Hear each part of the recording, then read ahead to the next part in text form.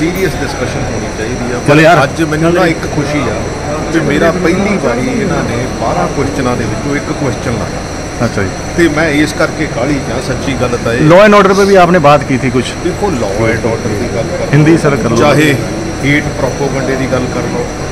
ਅੱਜ ਤੋਂ 4 ਮਹੀਨੇ ਪਹਿਲਾਂ ਮੈਂ ਏਡੀਜੀਪੀ ਸਾਈਬਰ ਕ੍ਰਾਈਮ ਨੂੰ ਕਿਤਾਬ ਐਪਲੀਕੇਸ਼ਨ ਦੇ ਕੇ ਆਇਆ ਸੀ ਕਿ ਜਿਹੜਾ ਸਿੱਖਾਂ ਉੱਤੇ ਹੀਟ ਕ੍ਰਾਈਮ ਜਿਹੜਾ ਪ੍ਰੋਪੋਗੈਂਡਾ ਹੋ ਰਿਹਾ ਤੁਸੀਂ ਉਹਦੇ ਤੇ ਕੋਈ ਐਕਸ਼ਨ ਨਹੀਂ ਔਰ ਉਹਦੇ ਤੇ ਕੋਈ ਅੱਜ ਤੱਕ ਮੈਨੂੰ ਮੈਨੂੰ ਨਹੀਂ ਉਹਦਾ ਜਵਾਬ। ਫਿਰੋਜ਼ਪੁਰ ਗੋਲੀ ਗੱਲ ਚੱਲੀ ਉਹ ਤਿੰਨ ਦਿਨ। ਉਹ ਗੋਲੀ ਤਾਂ ਰੋਜ਼ ਚੱਲਦੀ।